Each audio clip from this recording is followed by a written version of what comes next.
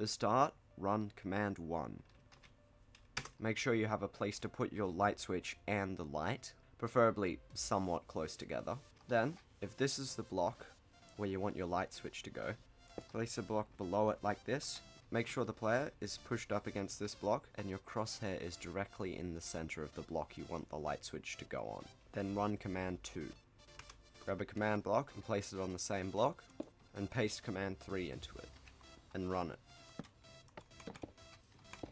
Now we have a light switch. Now we're going to make the light. If this is the block where you want the light to go, place a command block, and run command 4.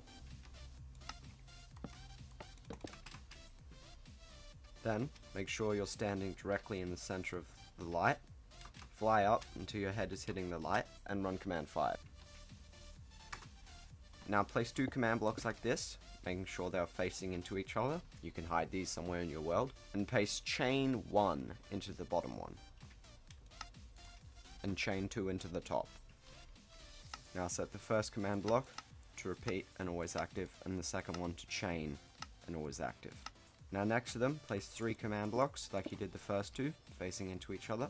We're going to do the next chain. So paste chain 1 into the bottom one, chain 2 into the middle one, and chain 3 into the top.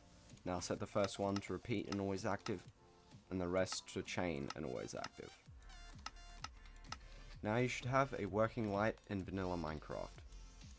I'm trying to hit 1000 subscribers by the end of the year, so please consider subscribing.